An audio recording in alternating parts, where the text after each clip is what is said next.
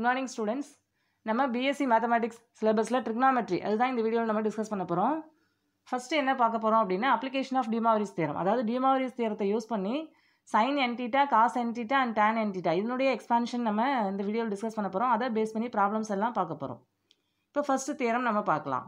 For any positive integer n cos n is equal equal to cos power n theta minus nc2 cos power n minus 2 theta into sin square theta plus and so on.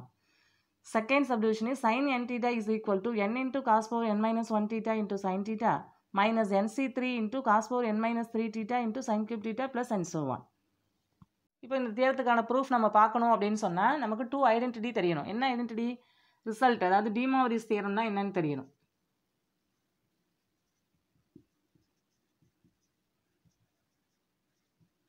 டீமாவரிஸ் theorem என்ன ஏற்கனவே நம்ம lower கிளாஸஸில் படிச்சிருக்கோம் அதாவது cos theta plus i sine theta whole power n is equal to cos n theta plus i sine n theta அப்படிங்கிறது நமக்கு தெரியும் இல்லையா?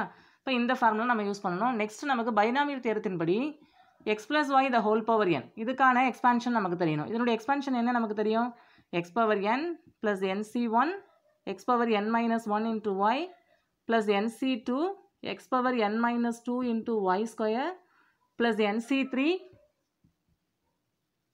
x power n minus 3 into y cube plus and so on plus y power n. அப்படிங்கிறது நமக்கு தெரியும். இந்த எக்ஸ்பான்ஷனையும் இந்த De Moivre's தேர்வு தேர்த்தையும் யூஸ் பண்ணி நம்ம என்ன பண்ணலாம்? கிவன் தேர்த்துக்கான ப்ரூஃபை நம்ம இங்கே பார்க்கலாம். இப்போ கவனிங்க ஃபஸ்ட்டு நமக்கு என்ன கேட்டிருக்காங்க? காசு என்டிட்டா சைன் என்டிட்டா கேட்டிருக்காங்க. நம்ம ப்ரூஃபில் என்ன பண்ணலாம்? ஃபஸ்ட்டு டிமாரிஸ் தேரம் நம்ம மார்க் பண்ணலாம்.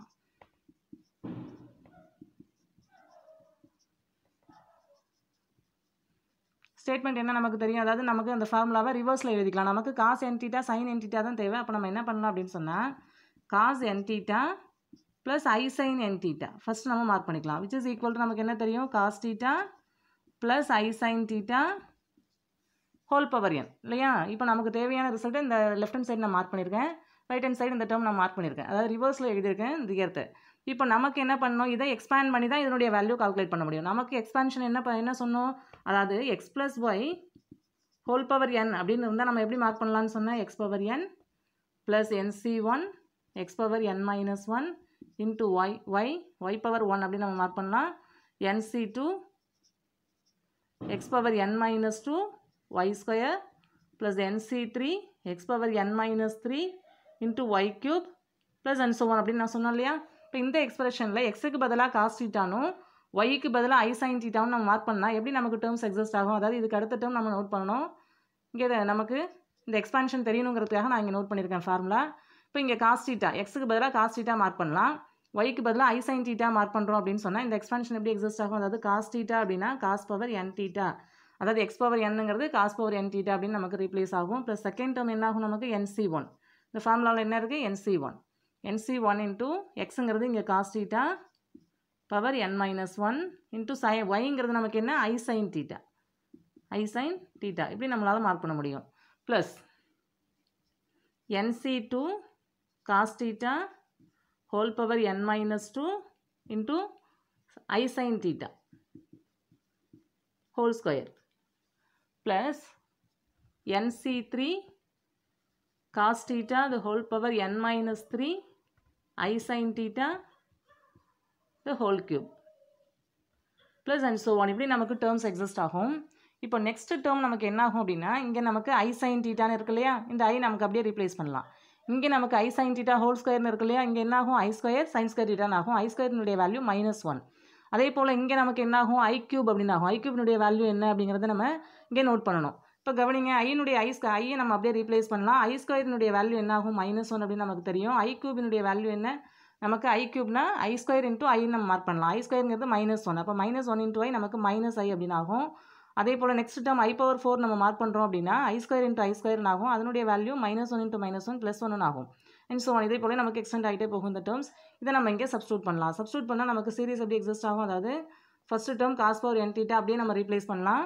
இங்கே ஐயை நம்ம அப்படியே நோட் பண்ணலாம். நமக்கு இமேஜினரி பார்ட்டுக்கு நமக்கு இமேஜினரி யூனிட் தேவை. அப்போ ஐயை அப்படியே நோட் பண்ணலாம்.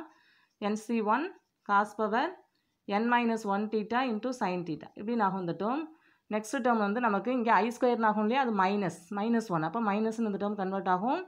NC two cos power n minus two into sine square theta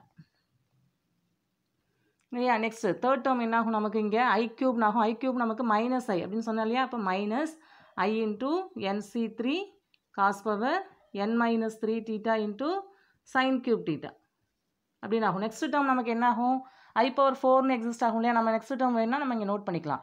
இங்கே நமக்கு ஐ சைன் டீட்டா ஹோல் கியூபா நெக்ஸ்ட் டைம் என்னவாக இருக்கும்? I sine theta whole power four இப்போ ஐ பவர் ஃபோர் நமக்கு என்ன ஆகும் ப்ளஸ் ஒன்று ஆகும் அப்படின்னு நம்ம ஏற்கனவே சொன்னோம்.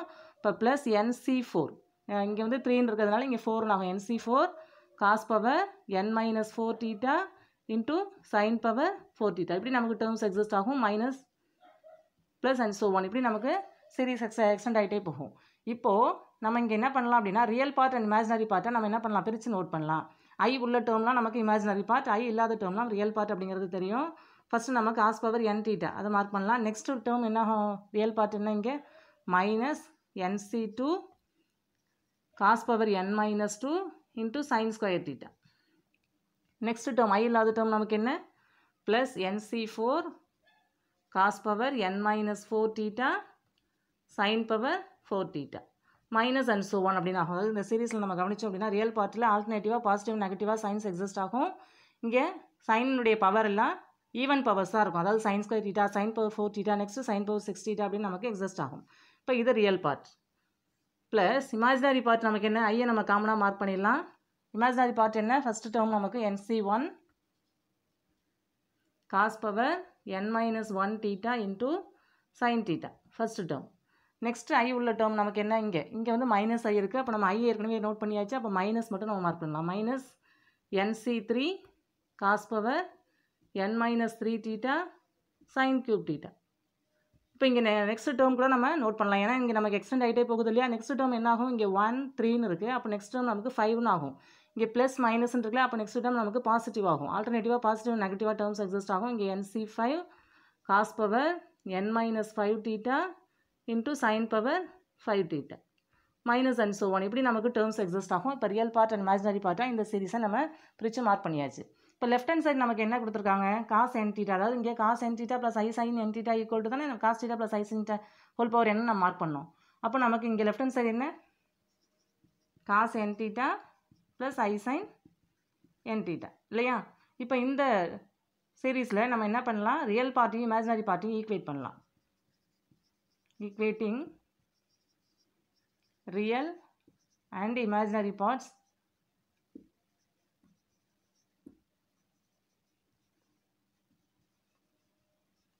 On both sides.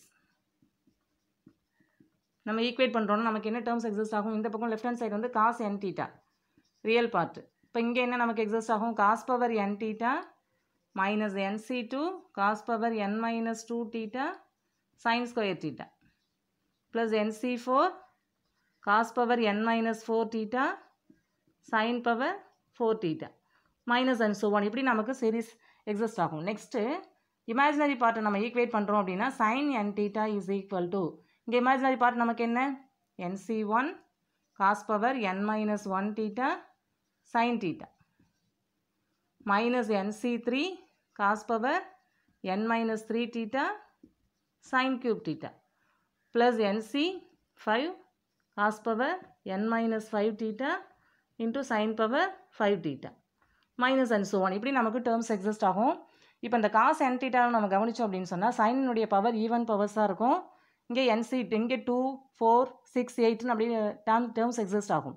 அதே போல் சைன் என் எல்லா டேர்மும் நமக்கு ஆட் நம்பராக எக்ஸிஸ்ட் ஆகும். அதாவது சைனுடைய பவர்லாம் ஆட் பவராக நமக்கு எக்ஸிஸ்ட் ஆகும். இங்கேயும் நமக்கு ஒன் த்ரீ ஃபைவ் செவன்னு நமக்கு டேர்ம்ஸ் எக்ஸிஸ்ட் ஆகும். நெக்ஸ்ட் இங்கே NC one NC two NC த்ரீலாம் mark பண்ணுறோம் இல்லையா? அதனுடைய வேல்யூ என்ன அப்படிங்கிறதையும் நம்ம இங்கே பார்க்கலாம். என்சிஆர் ஃபார்முலா நம்ம பார்க்கலாம். NCR is equal to n factorial divided by r factorial into n minus r factorial இது நமக்கு தெரிஞ்ச ஃபார்முலா இல்லையா? இப்போ என்சி ஒன்னினுடைய வேல்யூ நமக்கு வேணும்னா எப்படி நம்ம மார்க் பண்ணுவோம்? என் ஃபேக்டோரியல் டிவைடட் பை இங்கே நமக்கு one factorial into n minus one factorial இப்படி நம்ம மார்க் பண்ணுவோம். அதாவது என் என் ஃபேக்டோரியலில் நமக்கு எப்படி நோட் பண்ணலாம்? N ஃபேக்டோரியலில் one into two into three into and so on n minus one into n அப்படி நம்ம மார்க் பண்ண முடியும். டினாமினேட்டரில் நமக்கு ஒன் ஃபேக்டோரியல் ஒன்று ஆகும். N minus one ஃபேக்டோரியலில் one into two into three into and so on n minus one எப்படி நம்ம மார்க் பண்ண முடியும். அப்போ இங்கே என் மைனஸ் ஒன் டேர்ம்ஸ் நமக்கு கேன்சல் ஆகிடும் என்னன்னு வேல்யூ எக்ஸிஸ்ட் ஆகும். இது நமக்கு தெரிஞ்ச ரிசல்ட் தான். நெக்ஸ்ட் என்சி டூ எப்படி நம்ம மார்க் பண்ணலாம்? N factorial divided by two factorial into n minus two factorial இப்படி நம்ம மார்க் பண்ணுவோம். இப்போ என் ஃபேக்டோரியல்னால் நமக்கு என்ன தெரியும்? One into two into three into on so on n minus one into n அப்படின்னு நமக்கு தெரியும். நோட் பண்ணியாச்சு. இங்கே வந்து நமக்கு டினாமினேட்டரில் டூ ஃபேக்டோரியல் இன்டூ டூ ஃபேக்டோரியல்னா ஒன் இன்ட்டு டூ அப்படின்னு நம்ம மார்க் பண்ணிக்கலாம். அதாவது ஒன் இன்ட்டு டூ இல்லை டூ ஃபேக்டோரியல் அப்படின்னு கூட நம்ம மார்க் பண்ணலாம். இன்டூ என் மைனஸ் டூனா நமக்கு என்ன தெரியும்? One into two into three into on so on n minus two in factorial n minus two வரைக்கும் நமக்கு எக்ஸஸ்ட் ஆகும். அதே போல் நியூமரேட்டரில் இங்கே என் மைனஸ் ஒன்று இருக்கு இல்லையா? இதுக்கு முன்னாடி உள்ள டேர்ம் என் மைனஸ் டூவாக இருக்கும். அப்போ என் மைனஸ் டூ டேர்ம்ஸ் நமக்கு இங்கே கேன்சல் ஆகிடும் இப்போ நமக்கு எப்படி ஃபார்முலா கன்வெர்ட் ஆகும்? N into n minus one divided by two factorial அப்படின்னு ஆகும். அப்போ நம்ம என்ன பண்ணலாம்? என்சி த்ரீயை எப்படி மார்க் பண்ணலாம் அப்படின்னு சொன்னால் n into n minus one into n minus two divided by three factorial இப்படி நம்ம மார்க் பண்ணலாம். அதே போல் என்சி ஃபோர் என்சி ஃபைவ் அது போல் நம்ம எக்ஸ்டென் எக்ஸ்டெண்ட் பண்ணிட்டே போகலாம் ஃபார்முலாவை அப்போ நம்ம இங்கே அப்ளை பண்ணும்போது என்சி ஒன்னுக்கு பதிலாக என்ன அப்ளை பண்ணலாம்? என் அப்படின்னு நம்ம அப்ளை பண்ணலாம். இல்லையா? அதுதான் சைன் என்டிடியாவுனுடைய எக்ஸ்பான்ஷன் இங்கே என்சி த்ரீ என்சி ஃபைவ் அதாவது ஜென்ரல் ஃபார்முலாவை நம்ம என்சி த்ரீ என்சி ஃபைவ் அப்படின்னு நம்ம மார்க் பண்ணுவோம். ஃபார்முலா ப்ராப்ளம் போடும்பொழுது நமக்கு ஒரு வேளை எண்ணுக்கு பதிலாக வேல்யூ சப்ஸ்டியூட் பண்ணும்போது நம்ம என்ன பண்ணலாம்? இந்த ஃபார்முலா யூஸ் பண்ணி நம்ம எக்ஸ்பேண்ட் பண்ணி சொல்யூஷன் கால்குலேட் பண்ணலாம். இப்போ நமக்கு ஃபார்முலாவில் இங்கே என்னன்னு கன்வெர்ட் ஆகும். இப்போ இந்த டூ எக்ஸ்பிரஷன் தான் நமக்கு ஸ்டேட்மெண்ட்லேயும் கொடுத்து கேட்டிருக்காங்க. நம்ம ப்ரூஃப் பண்ணியாச்சு.